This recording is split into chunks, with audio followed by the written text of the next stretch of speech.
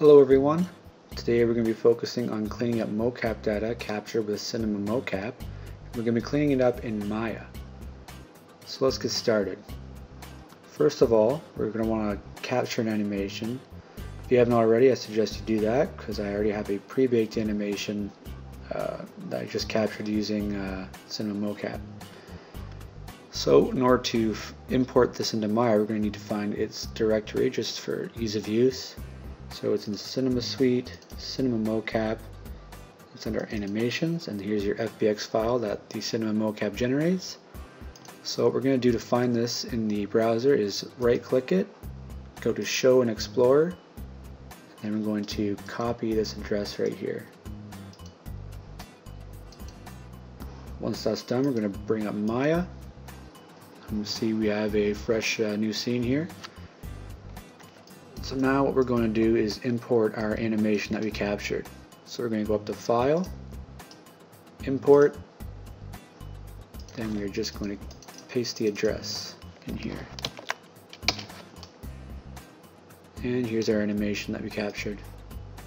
We're just going to import it, and here it is.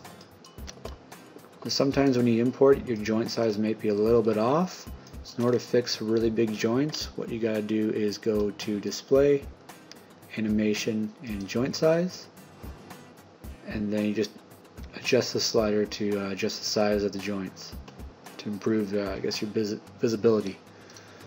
So once that's all through, we're going to check out our animation here. Well, first we're going to adjust the uh, bar right here so we can see more of our frames. Now we're just going to scrub through the animation.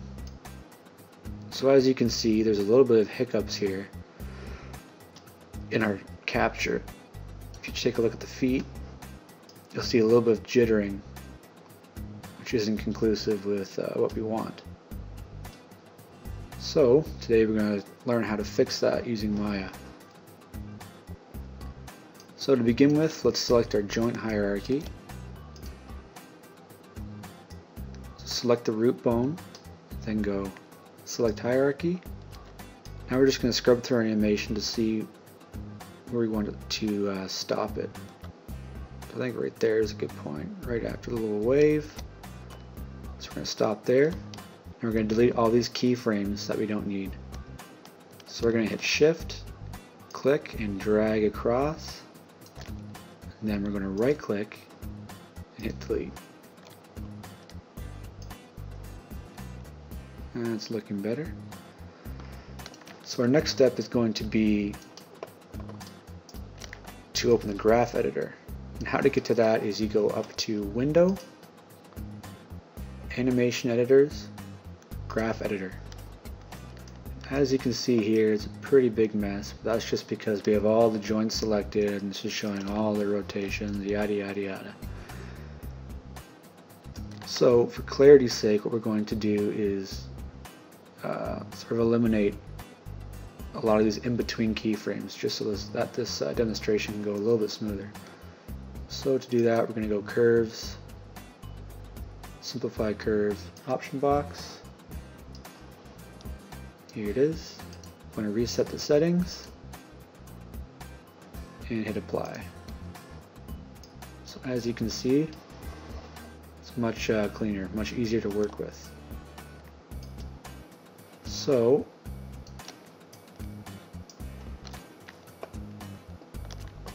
I'm actually going to open up a different file I have that I pre-prepared sort of at this point just so we don't have to clean up all these bones. It'll take a long time, so I'm just going to switch over to that. So as you can see, even in this animation, there's still some hiccups with the arms going crazy, and the foot, the bottom left foot's also going a little bit crazy. So we're just going to clean that stuff up. So we're going to go back to our animation editor, or sorry, graph editor through the uh, window, animation editors, and graph editor. Oops. Now we're going to select our joint that's giving us trouble here. I'm going to fix some of those hiccups that we see. So as we scrub through this animation, you'll see that this is also the time slider here, which sort of coincides with this time slider. And you can see these curves are smooth except for some of these hiccups here. This is what we're seeing when we see it sort of spaz out.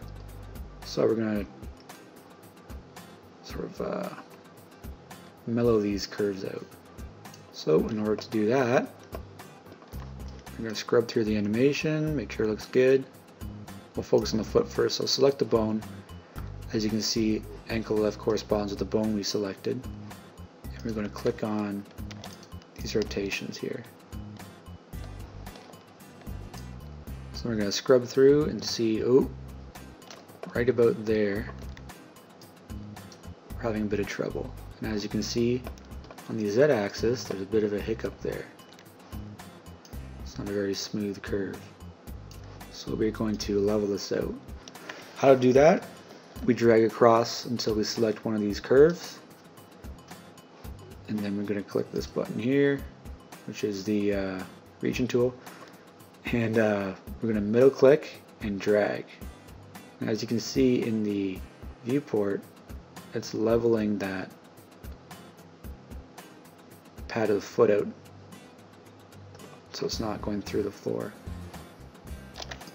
So once you think that looks good, just continue our scrub. As you can see, there's another infracting keyframe there on our curve. We're going to level that one out. And I imagine that this one's going to be infracting too, so let's just select that and level it out. So now we're going to preview it, scrub through. We have a little bit more crazy stuff going on, but it seems to just be in this y-axis here. So you're going to find that frame. You're going to adjust this graph here. Drag it down.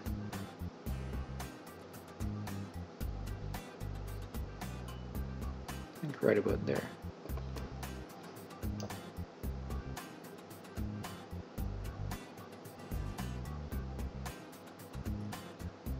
Still a little bit of trouble with the y-axis there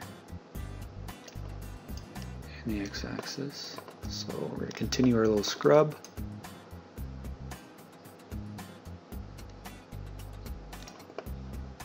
Try and get everything on the screen here.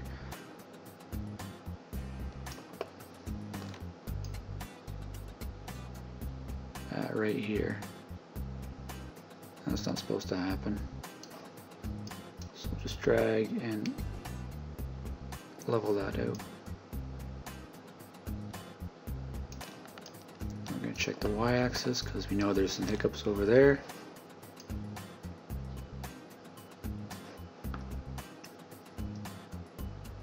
Another thing that we can do is we can select these and we can scale them. So if we scale down like this, it'll flatten that curve out. Then we can scrub through. See, it looks a lot better. We'll do the same with this little hiccup here. Scale that like that.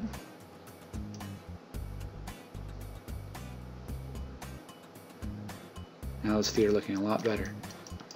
There's one more thing I noticed up here, which was the arm spazzing out. So We're going to take a look at that.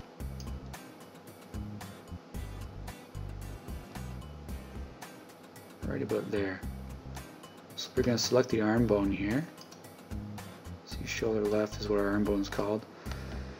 And this one's not too bad because you can tell these are the it spazzes out twice and that's because of these two huge spikes right here. So we're just going to grab these and middle mouse drag them down in our graph editor. Ooh, make sure you sure you're accurate.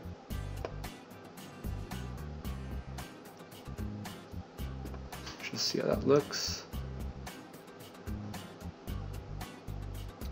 It's looking a lot better.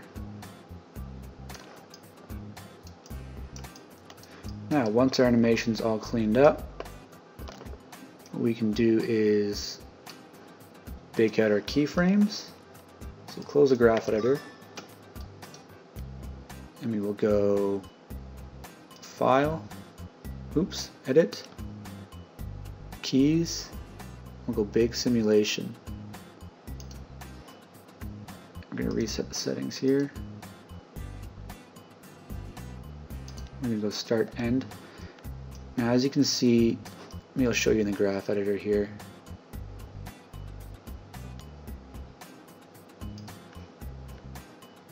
There is a keyframe, I believe, on zero. So what we're going to want to do when we bake the simulation is we're going to want to start on one. Just so we can eliminate that keyframe.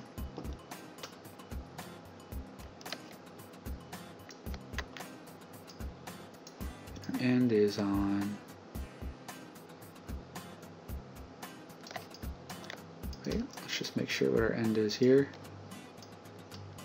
on 169. So dial that in.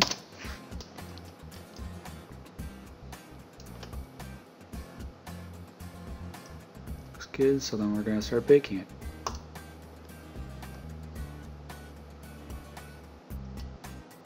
As you can see, our keyframes look a lot better now. They're not all jumbled up on top of each other. Animation looks pretty smooth. Now we're going to export our file. Do that by going File.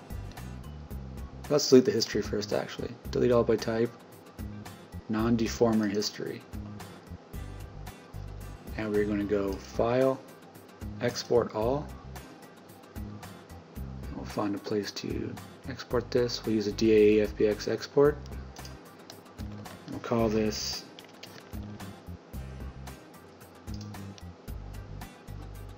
call this animation clean. So we'll dial that in just so we know that has been cleaned up and we'll push export. So now we'll check out our animation in Unity. import new asset go to file import it we're going to check out our animations. We're going to select our generated model with the animation with it. Go to animations and in this bottom little preview pane here, check it out.